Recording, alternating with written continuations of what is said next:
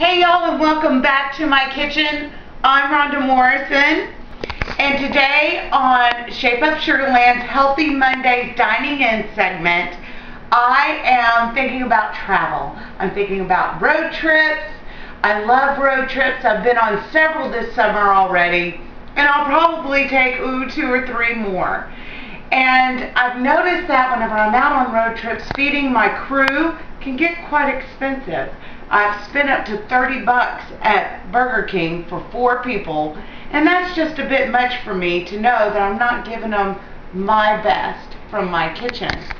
So today I've got some chickpeas that I've already rinsed and drained, and I mashed them up with this fork here, and I'm going to make a salad. And the base of this salad is similar to a tuna salad. But I am using chickpeas because I prefer to travel with chickpeas over tuna fish. That's just me. So I'm going to start out by adding three tablespoons of light mayo, just like that. Then I'm going to add three teaspoons of spicy brown mustard. I'm from Louisiana, so I use Zatarain's. One, two, three. There we go.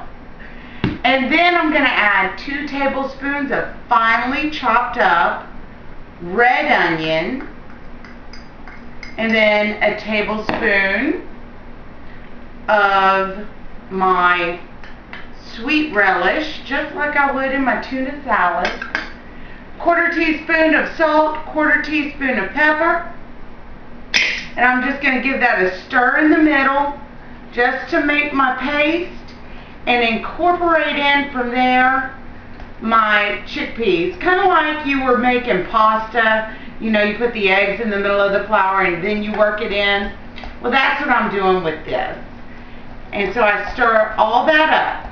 Now at this point, once you get this combined, you can put this in a disposable container and you just load it on up into your ice chest with your lettuce and your tomatoes. I have eight uh, pieces of lettuce, leafy green lettuce right there.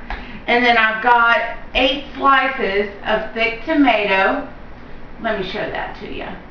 All you do is put that in a Ziploc bag on the side. And the reason why you want your tomatoes and your salad on the side and not all loaded up in your pita is if it's three hours down the road before you find the picnic table that you want, your pita can get soggy. And pitas are thin and they're a little delicate. And I don't want it to get soggy on you. Shoot, I don't want it to get soggy on my family. One bite and it's in there laughing. That doesn't make for a fabulous road trip. So we're going to do it this way. Now I've got this all combined.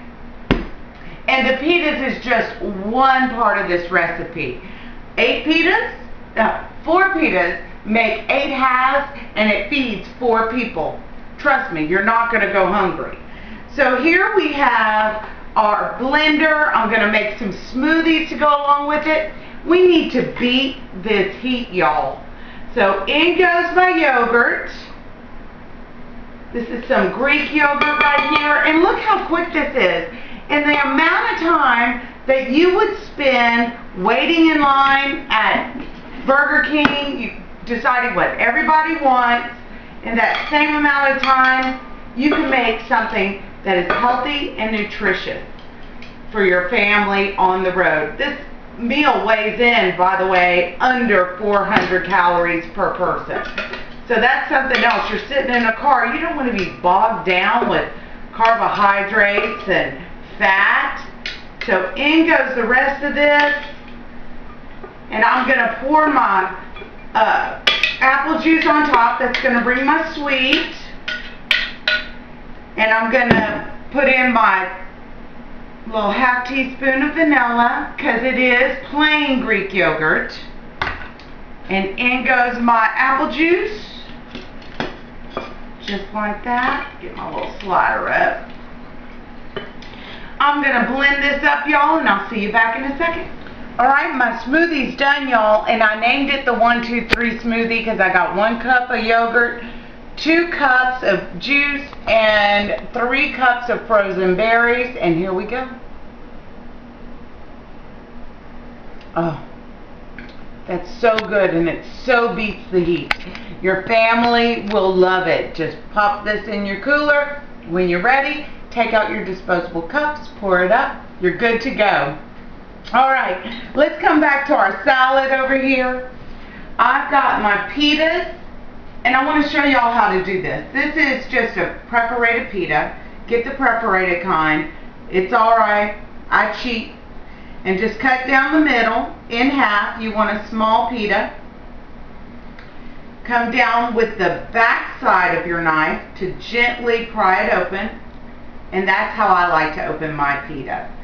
Then I'm going to grab one slice of lettuce. I'm going to grab one slice of tomato.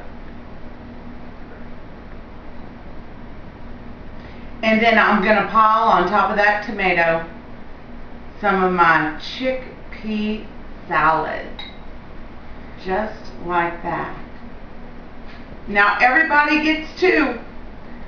So just remember, if you only eat half, you're saving even more calories. So let's give it a taste, see how we did.